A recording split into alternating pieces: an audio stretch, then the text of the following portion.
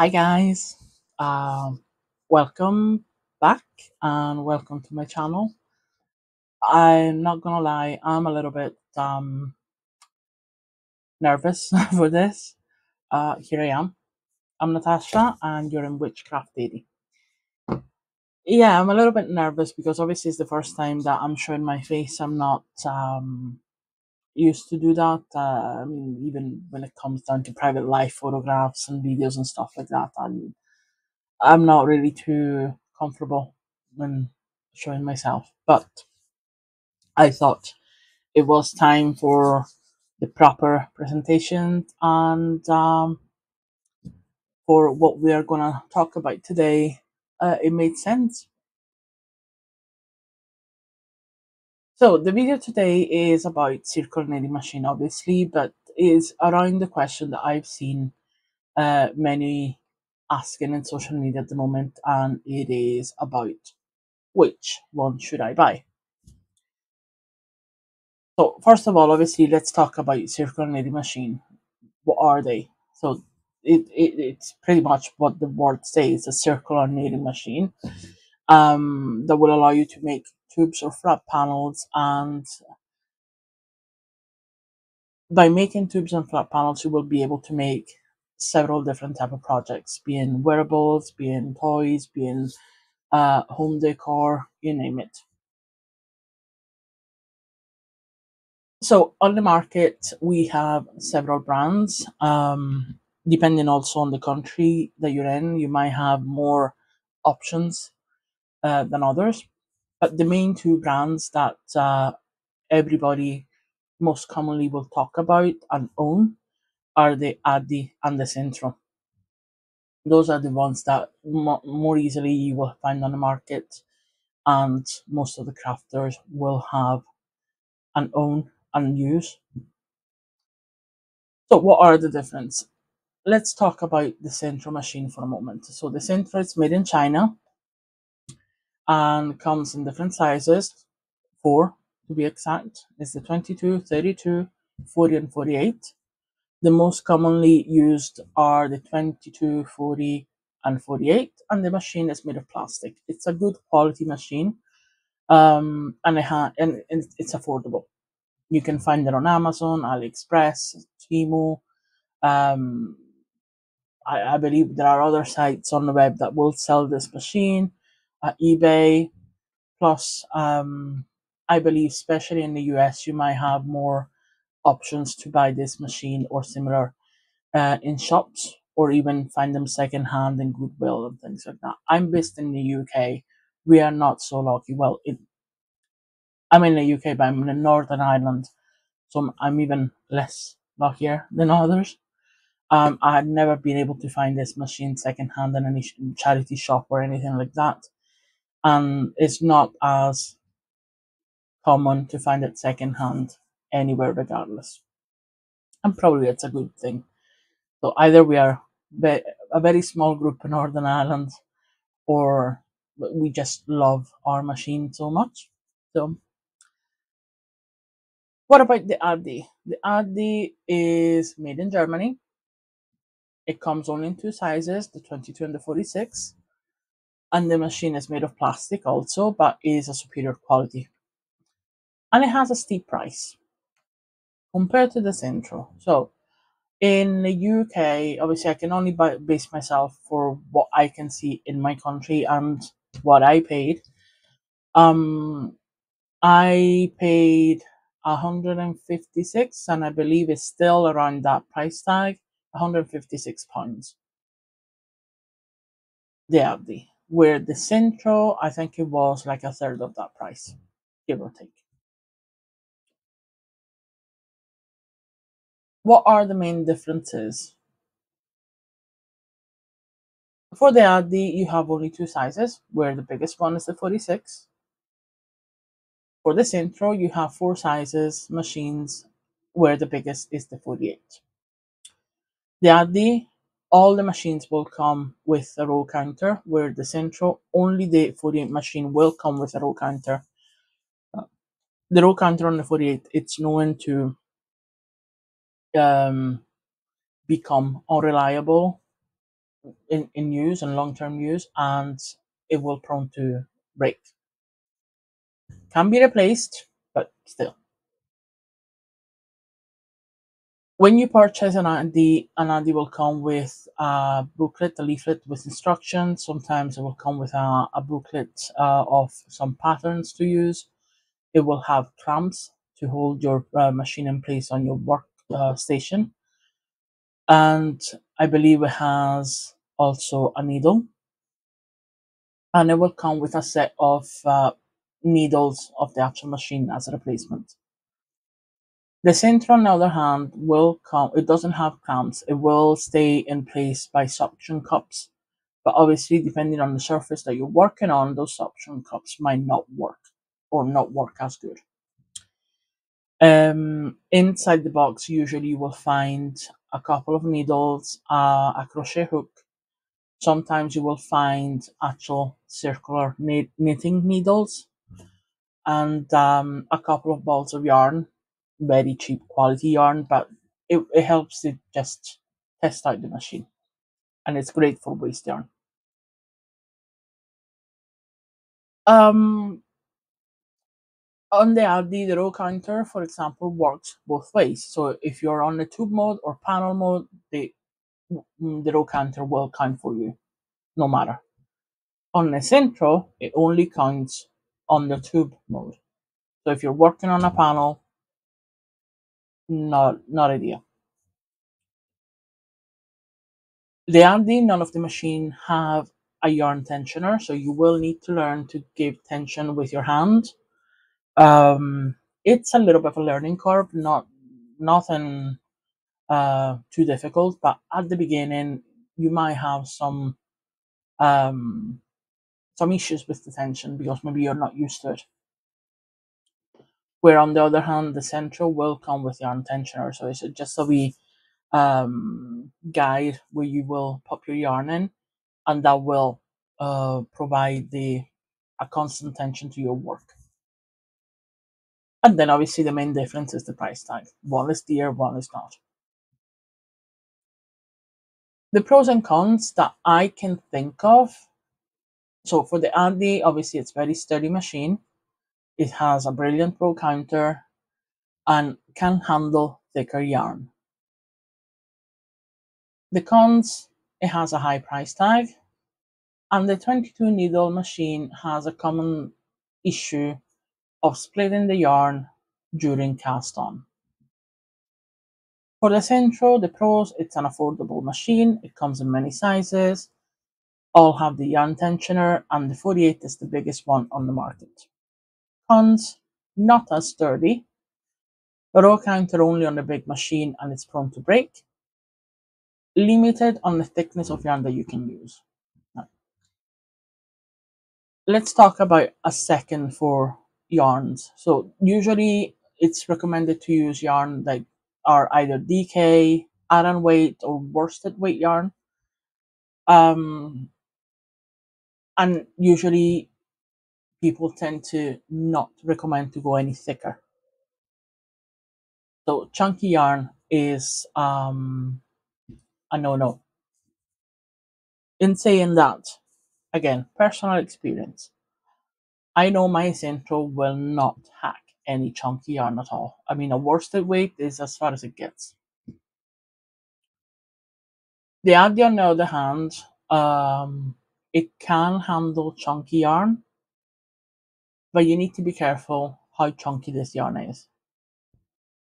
Meaning that you might have two balls of yarn, two different brands, colors, two different materials, both classified as chunky, but one might be thicker than the other. The Addi might struggle. It might work with a thinner version of that chunky yarn, but not so much with the with a thicker one.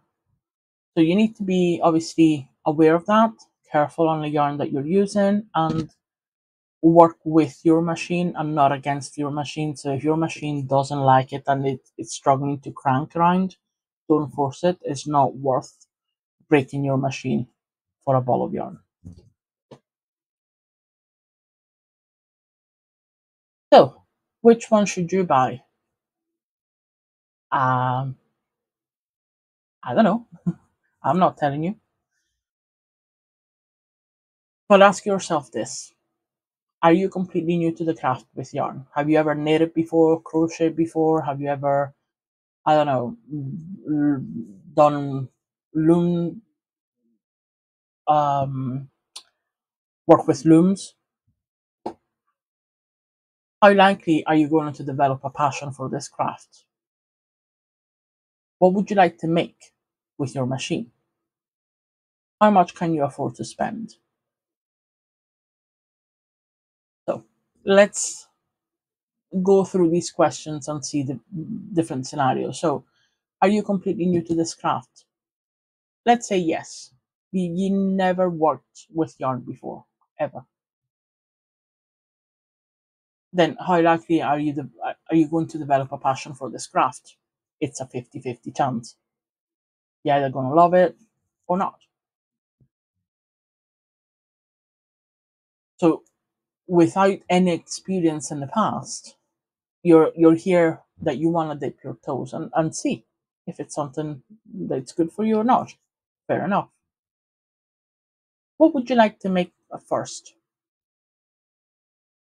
You just want to make small things like keychain size things or maybe small wee plushies for kids? Or would you want to have a bigger array of options? most likely you might want to have more options at your disposal. So in that case, I would advise you to concentrate your thoughts towards a 46 or a 48 machine as, as the first machine to buy. But which one? Which one would you buy? It depends. How much can you afford? So in a scenario where you're wanting to just dip your toes you're a 50 50 chance. You don't know really if you're to like it or not. It seems fun, but you don't know. Never tried it before, never worked with yarn before. So ask yourself are you willing to spend and gamble on that? 150 plus pounds, dollars, whatever that is, for a machine that you're going to use, you're going to test out, but you might find yourself that maybe you don't have the time, it's not really that exciting as you thought it might have been. But then leaving that machine at the back of the closet, the back of, of, of a wardrobe, and being forgotten. Yes, you can sell it back. You can, I mean, if you're lucky enough that you're within your returning time, you can return it. But if too much time has passed, you can maybe sell it secondhand, but then you're still going to lose money on it. Just ask yourself, is it worth it or not?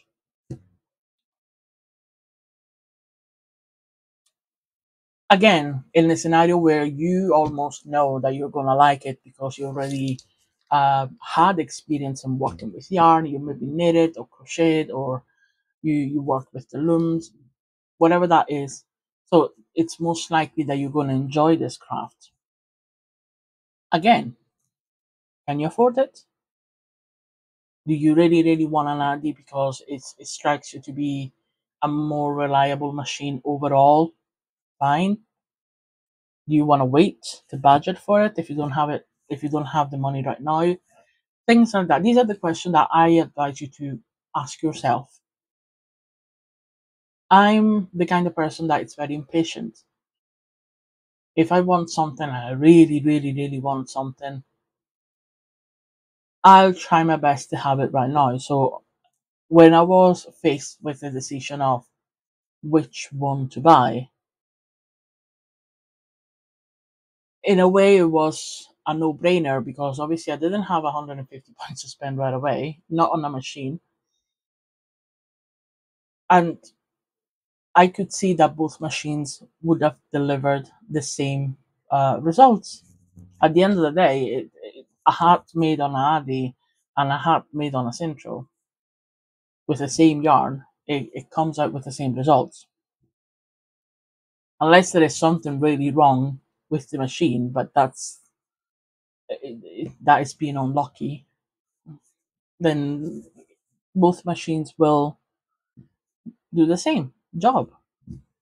So for me, it was a no-brainer. I went with the Sentro with the cheapest options out there that I could get out of Amazon the next day and start playing with it.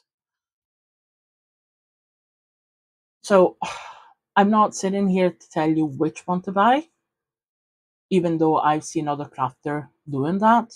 They will tell you, oh, absolutely, buy the Addi. If uh, my advice, just get a budget for the Addi or budget for the Sentro. I'm telling you, do your homework. Listen to the other crafters, listen to comments, read comments, check videos, and try to make as much as an informed decision that you can. Consider what can be a deal breaker for you or not. Some people, for example, may tell you that the handle on the Addi is uncomfortable. Can be. Some other people might tell you, oh, but the row counter on the Sentro is a nightmare. True. If it's not reliable, if it's not working correctly, or if it's actually broken, then of course. But these are all things that can be fixed in a way. So on the Sentro, for example, all of my machines have a digital row counter that I bought out of Amazon. It's not the prettiest thing ever, but it works a dream. It's reliable, easy to look at, easy to see what row I'm in, and it's it's attached to my machine. Works fine. It's the one with the wee magnet. On the other hand, I've seen people complaining about the handle on the Addi, and they bought a replacement. That's more of a a handle shape oblong thing that they can um, grip more comfortably. Uh, what else? I, for example, craft a lot in my living room, and my living room, my workspace, my worktop is not ideal for suction cups. And once again, being my, Sentro, the Sentro 48, the, the machine that I would work the most with, I was able to find a wee shop on Etsy that 3D printed legs that they were similar to the Addi ones and I bought those replacements so I can use the clamps that came with the Addi with the Sentro. So in time, you're gonna adjust your machine to your needs. If you think, oh my god, I need to uh, hand tension my yarn with the Addi where with the Sentro, just pop it into the tensioner it does it for me. True, but there are tensioners out there that you can attach to the Addi and it will work just as good. So the difference that I've seen between the two machines, yes, one is sturdier than the other, but the other is not. Um, it's not something that is going to break on you five minutes in, unless you really are a destructive person that is, is, is doing something wrong with it. I don't see any of the differences between the two machines being deal breakers.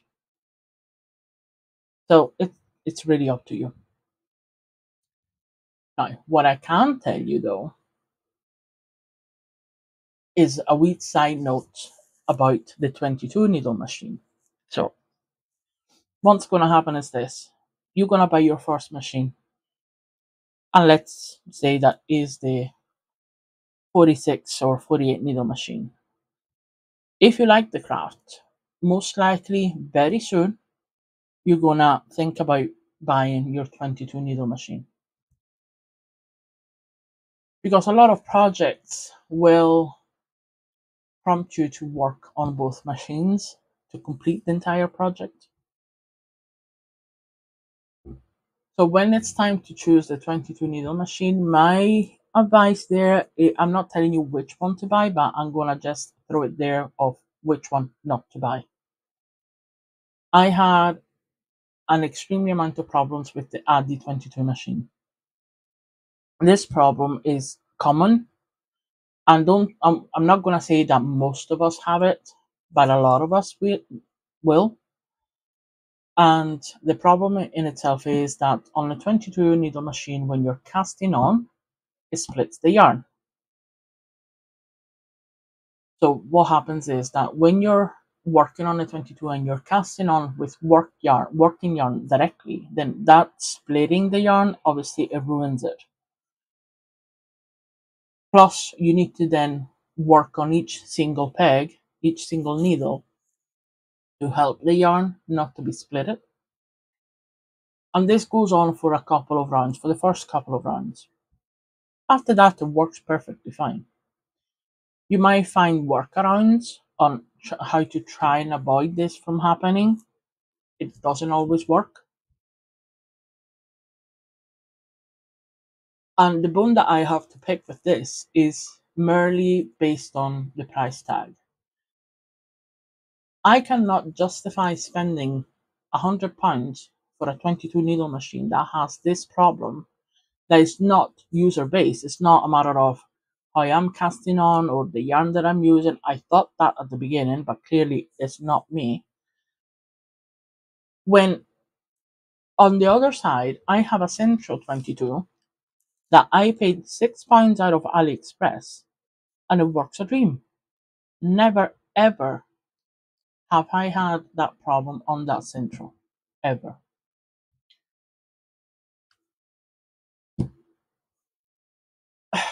Again, it, for many I that I talked to, they know of the fact that they face that challenge themselves, but it's not a deal breaker. They love their Addi, and that's absolutely fine. Absolutely. And it's not that I don't love my 22 needle machine, but when I have to do a, a job on a 22 needle machine and I'm looking at my Sentro and I'm looking at my Addi, uh, I'm not even considering the Addi just because I cannot be bothered having to faff around on cast on with that problem. And again, with that problem does not justify the price tag. But that's me. I just thought that I was gonna throw it there and then it's food for thoughts. It's up to you. Anywho, again, do your homework. Read blogs. Check out comments. Uh, at the end of the day, it's um, it, there are options out there that will work either way. I think the most important thing is for you to have fun with it. So I really wish and I really hope that once you decide which machine to buy, you're going to have fun with it and you're going to be as passionate about it as us within the community are. So this is it. Uh, thank you so much for being with me so far. Again, um, I appreciate all of you. Uh, I- think this wee video with me showing my face was long overdue. Um, yeah, thank you. Now, one last thing, and I know I'm uh, I'm a broken record for it, but if you have not done so already, if you can please subscribe to my channel. You know the drill. I mean, it really helps. It helps YouTube to understand that what we are doing, that what I'm doing is good. It's been appreciated. It's been liked. And obviously then that will just promote more content that I will create. Plus, it helps me understand that what I'm doing is good. But in any case, if you have any feedbacks or any questions, please leave a comment below. I will um, have this mini presentation available for download if you think it's um, useful. So you're more than welcome to download it for yourself. Other than that, again, thank you so much and have a good rest of your day. Bye.